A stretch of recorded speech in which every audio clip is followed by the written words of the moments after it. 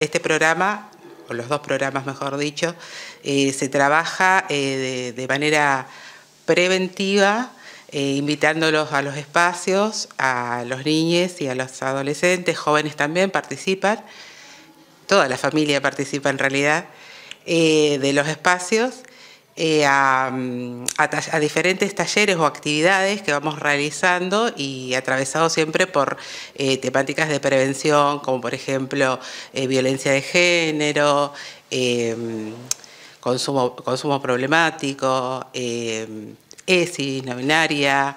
esas son las, las temáticas que este año atraviesan a nuestro programa.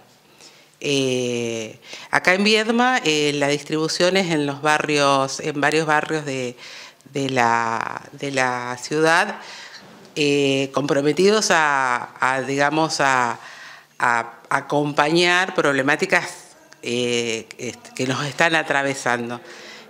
por ejemplo, en el barrio Seferino tenemos un centro, en el barrio Lavalle, en el Álvarez Guerrero, bueno, acá en el IPPB el Amarillo, Casita de Nehuen en el, barrio Guido, eh, Viruta, La Viruta, eh, y, mm, que está en, el barrio Patagonia, y Sonoridad Andina, que está trabajando en Parque Independencia y en el Camo. En Galpón Amarillo estamos con actividades eh, deportivas como atletismo los charitos, em, natación, después artístico, reciclado y baile urbano, zumba, y eh, culturales. También tenemos el espacio de percusión y eh, charango.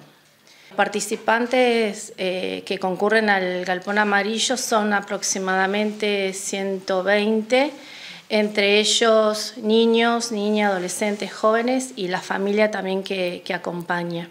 Bueno, y para las inscripciones a los talleres, nosotros abrimos la convocatoria y vienen a hacer la inscripción eh, directamente acá al espacio. Eh, estamos nosotros en horario de mañana, de 8 a, 14 horas y de 14 a 19.